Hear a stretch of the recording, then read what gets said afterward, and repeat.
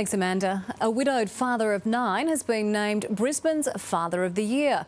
With such a big family, he still finds time to help others in need. David Howell says he's just a normal guy, but his children say their dad is much more than that. They say he's the father of the year. He's putting other people before him because he doesn't think he deserves, he's not worthy, but he is. He earns money as a concreter to support his big brood, which includes five grandchildren. What spare time he has, he devotes to being a salvo and helping others. He listens to uh, those that uh, are in the area, and if he sees a need, he'll work, he'll action on that. And lately, he does it alone. After an eight-year battle with cancer, he lost his wife Pamela last year.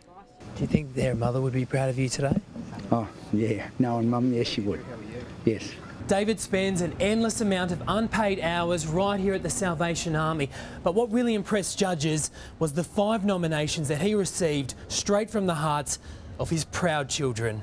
He's a really good father because he helps the homeless and he's really kind. He's really humble and that's another thing which um, you know we all take from him as well. Six other fathers from other parts of the state have been shortlisted for Queensland's Father of the Year. The winner will be announced Thursday. Sean White, 10 News.